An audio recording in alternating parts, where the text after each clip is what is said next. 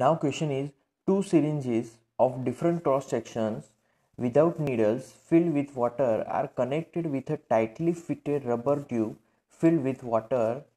Diameters for the diameters of the smaller piston and larger pistons are 1 centimeter and 3 centimeter. So first radius with the help of diameter I can write the first radius and that is 0.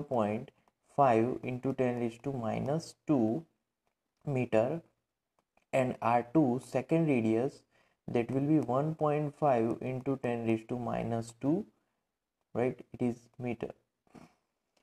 Find the force exerted on the large piston when the force of 10 newton is applied to the smaller piston. So see f1 we have that is uh, 10 newton we have to find F2 right?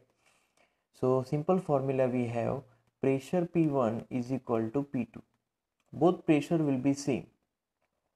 So simple formula F1 upon A1 is equal to F2 upon A2 now F2 we have to find subject that F2 so F2 is equal to F1 upon A1 into A2 right?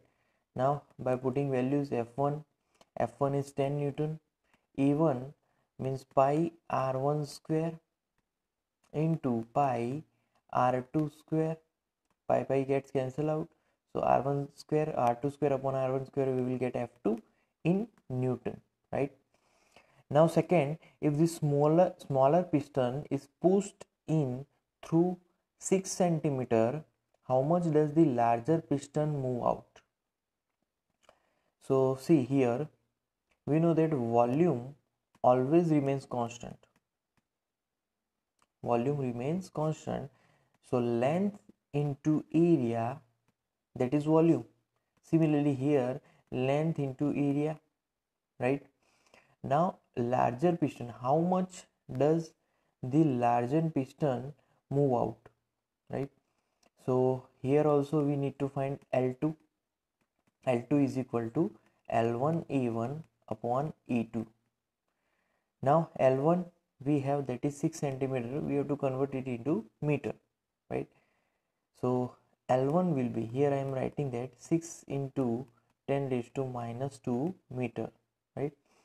A1 again pi r1 square this formula a2 again pi r2 square this formula right so here r1 square upon r2 square we know that r1 and r2 by putting these values we will get l2 in meter right? So our answer will be in meter because we convert all the terms in meter